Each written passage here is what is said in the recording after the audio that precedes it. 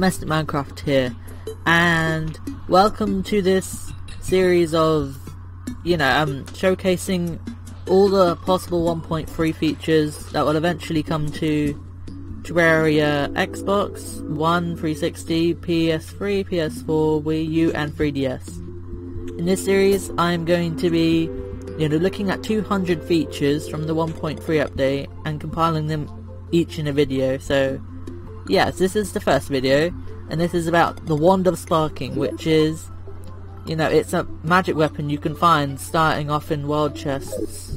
If I could find one, let me just quickly look around.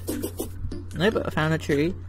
But, yeah, this does 10 magic damage, and its crit strike, crowd can't speak, its critical strike chance is really good, and oh. uses one mana, and basically I've got some target dummy set up here and we'll see how much damage it does.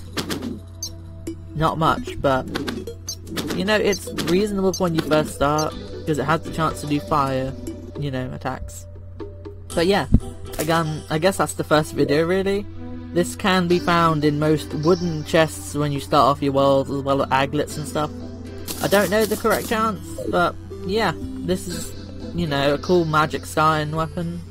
So yeah, I'll see you guys in the next episode. See you later.